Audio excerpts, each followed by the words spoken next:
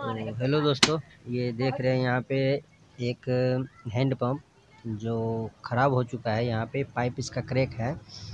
तो यहाँ कम से कम 35-40 फीट लंबा है। ये यूपीवीसी पाइप में ज्वाइंट करके जो थेरेट चूड़ी काट करके बनाया हुआ है यहाँ पे। तो पहले ये वायरिंग हो चुका है, जो यहाँ पे देख रहे हैं चूड़ी कट चुका है, वो भी हम आपको दिखाएँगे जो कैसे कटा हुआ है। तो यहाँ पे देख लीजिए 40 फीट लंबा 40 या 45 फीट है। तो ये हैंड पंप खोल करके और इसे दोबारा रिप्लेस करेंगे। यहाँ पे यू पी पाइप नया डालकर एक जगह से दूसरे जगह करेंगे।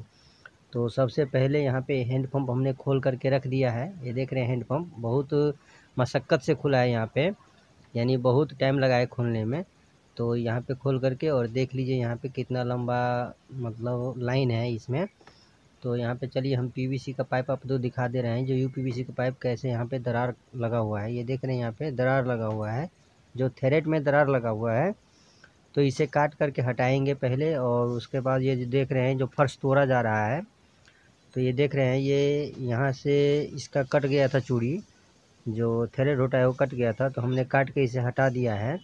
और हटाने के बाद अब पाइप यहाँ से हटाएँगे और हटा करके फिर हम दिखा दे रहे हैं। ये देख लीजिए पाइप हम ऊपर हटा दिए हैं यहाँ पे। और आइए हम आपको दिखा देते हैं हैंड पंप कैसे इसके। यहाँ पे देख रहे हैं डेढ़ डेढ़ फीट का निपुल जो ऊपर नीचे लगाया हुआ है। इतना नहीं लगाना चाहिए क्योंकि इसमें जंग खा गया है। तो यहाँ पे हमने एक डेढ़ इंची का एमटीए जो ब्रास एम होता है, ब्रास एम लगाया है और एक डेढ़ इंची का एल्बो और एक नेपुल डेढ़ फीट में। और इसका हमने ज्वाइंट कर दिया है इसको। और ज्वाइंट करके यहाँ पे एक लेवल की तरह वो खन रहे हैं मिट्टी और इसे भरने के लिए बोल दिए हैं। यहाँ पे देख लीजिए, हमने एक कनेक्शन कर दिया है। यहाँ पे एल्बो डेढ़ इंची का और यूपीवीसी का डेढ़ इंची पाइप है। और ये कनेक्शन हुआ है। दोस्तों कनेक्शन कभी भी करें तो प्लम्बर से करें कनेक्शन और उसमें प्लम्बर सही से चारों तरफ़ लगा के फिर टेप लगाए ताकि लीकेज की संभावना ना हो। तो ये देख लीजिए, इतना लंबा लाइन है। ये 40-45 फीट लंबा लाइन है। तो यहाँ पे देख रहे हैं, एक सॉकेट यहाँ पे लगा हुआ है जो यूपीवीसी का है पाइप और सोलूशन अच्छी तरह से लगाए। यहाँ पे भी एक सॉकेट दो सॉकेट हमने लगाए। यहाँ पे तीन सॉकेट लगा हुआ है दोस्तों। ये देख रहे हैं, तीन सॉकेट लगा हुआ है और मोटा मोटी चार दस फीट का पाइप लगा हुआ है और थोड़ा सा और आगे लगा हुआ है। और यहाँ पे देख रहे हैं एमटी है, जो बड़ा एम टी है और ये एक टी ये पुराना रिप्लेस करके हमने खोला है और नया एम टी लगा के यहाँ पर ऐसे सेटिंग करेंगे। ये देख लीजिए, इस तरीक़ा से सेटिंग होगा। तो आइए हम इसे सेटिंग करने से पहले एक बार और आपको दिखा देते हैं।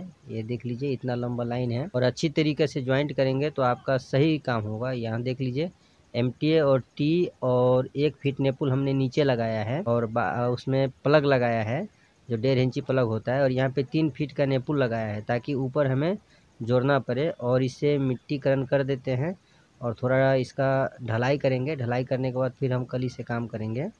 यहाँ पे देख रहे हैं, इसे ढलाई करके और फिर इसके बाद काम करेंगे। तो यहाँ पे देख लीजिए, मिट्टी डल चुका है।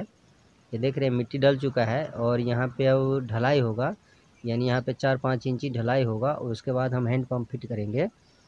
तो ये देख लीजिए, हैंड पंप फिट करने से पहले हमने ढलाई किया था, फिर क्लैम्पू लगाया है, जिस लेवल में यहाँ पे चबूतरा बनेगा।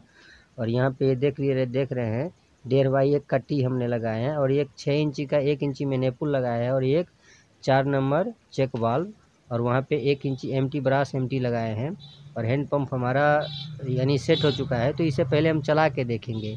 अगर चल जाएगा और उसके बाद 10 या 15 मिनट आप देखें इसे कि लीकेज है कि नहीं है। तो चलिए हम अब चला के दिखा देते हैं। तो पानी पकड़ लिया है, फिर भी हम चला के दिखा देते हैं। हम 10 मिनट के बाद अब चलाए हैं। तो ये देख लीजिए हमारा सक्सेसफुल काम हो चुका है, यानी वाटर हैंड पंप हमारा सही है।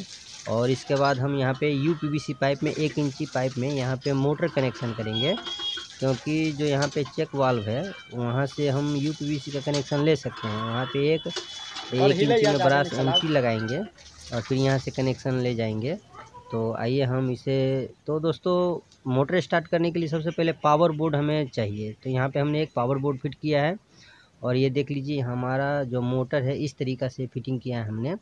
यहाँ पे देख रहे हैं, एक, दो, तीन एल्बो लगा है और दो एम लगा है मोटर और एक एम ऊपर लगा है और यहाँ पे एक बाई हाफ़ का जो बेंड हमने बनाया है, ताकि यहाँ पे स्नान घर जब बनेगा तो यहाँ पे भी हम बिना टंकी का यहाँ पे सावर और नल लगाएँगे। उसके लिए इसीलिए हम इस यहाँ टुल्लू बेंड नहीं लगाए हैं।